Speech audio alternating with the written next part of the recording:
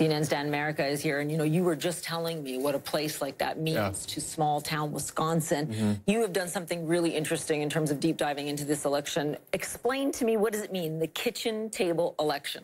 It's significant because these are Trump voters. These are at the base. These are people that elected him in 2016, and what they do in 2018, 2020, and beyond really will matter because it'll tell us whether this, you know, Trump bump was a one-time thing or whether it continues. And when you lay a map down of where trade tariffs are really impacting farmers, it's the same place that he got a lot of votes, which was intentional by China and other places.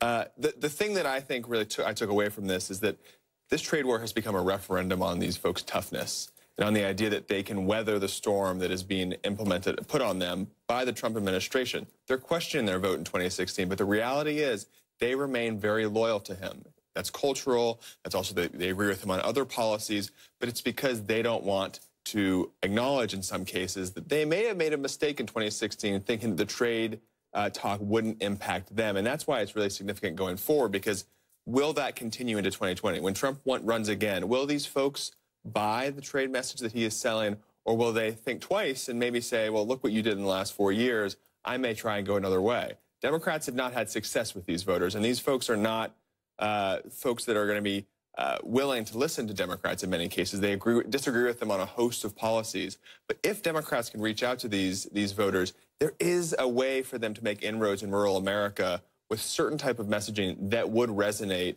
especially at times like this when their bottom lines are being directly impacted. And like you said, it's not obvious right now they've been able to make those inroads, especially yeah. when on trade. If you look at what Bernie Sanders has said, it's not that dissimilar no. to what uh, Donald Trump has said. I, I want to point something out. You said something about farmers needing to remain resilient and the administration hoping they can hang yeah. on. I want you to listen now to the agriculture secretary who spoke to me a little while ago about this very issue. Take a listen. Well, obviously, it's legitimate anxiety. It's a little bit like a drought you don't know when it's going to end. Is it going to rain tomorrow, next week? And you're sitting there with the legitimate anxiety. But the good news is farmers are pretty supportive of understanding why these things are taking place. And uh, they, uh, they understand a lot more than I think many people do. In terms of it understanding it, though, I can tell you what they understand is that they don't want to put tens of thousands of dollars into expanding or buying new equipment right now. They're scared, Secretary Perdue. Well, that's that's uh, the way business works. Obviously, when there's uncertainty, we see those kind of things go out in the marketplace. So you're not going to have people go out and do a lot of investment during these periods of time until the trades get resolved. Yeah, but it's not, it's uncertainty of the Trump administration's making. I think a lot of people, a lot of farmers want to know what's the end game here and how soon will we see it? Well, again, I think we need to ask China that. When's China going to stop their unfair retaliation? When are they going to do fair trading practices? When are they going to uh, not stop stealing uh, intellectual property? Those are the kind of things. This is not on President Trump, not on the United States. He's simply responding to unfair trade practices that have taken place over a number of years. You know, Danny, I guess what I'm trying to get at there, I mean, the farmers are willing to take some yeah. short pain, short-term pain here because they don't like the trade rules. How long do you think? How long do you think their patience is really going to last? I, mean, I think it's pretty telling what he said. Is this is not on President Trump. There are a lot of farmers who don't agree with that.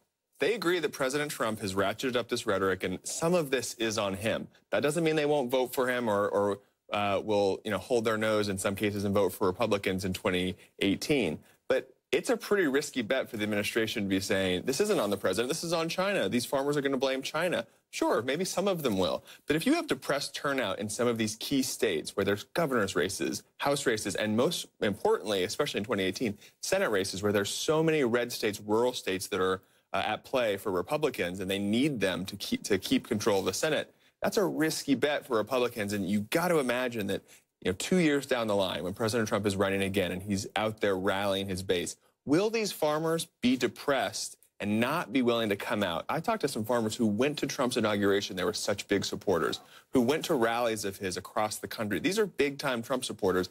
And even they are questioning, is this worth it for me? You know, he said he wanted to make America great again. Some of them are now thinking he wanted to make America great again at my expense. Before I let you go, Dan, yeah. if you're a Democrat right now in these areas, what are you thinking, not just for the midterms, but really looking forward to 2020? How do you, how do you get them? For a Democrat in these areas, I mean, they're all different. You know, Democrats in California, Wisconsin have a more vibrant party than, say, Kansas, for example, another state that I went to. Uh, but these are kind of incremental steps. you think if you're a Democrat in Kansas right now, you haven't had many good years for the party. It's, you've taken a beating over the last three decades.